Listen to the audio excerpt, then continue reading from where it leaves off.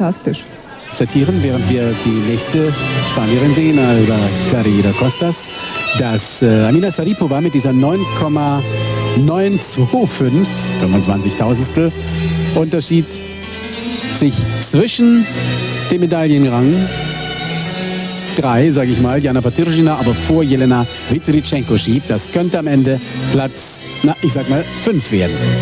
Momentan vierte. Die Spanierin.